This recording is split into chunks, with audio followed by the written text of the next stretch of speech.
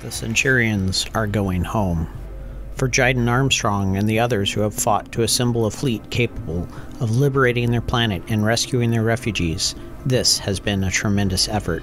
It has cost the lives of hundreds, and Jiden has tackled one impossible task after the next so that her people, her family, can return to the world of rebirth.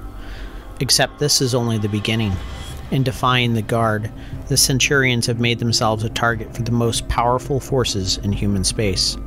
The UN Star Guard will throw spies, saboteurs, and even entire fleets at them if it means stopping them. Because if a group of mercenaries from one tiny planet can thumb their noses at the Guard, then anyone can, and that could spell the beginning of the end for them. The Guard are willing to fire on the civilian refugee ships if that's what it takes.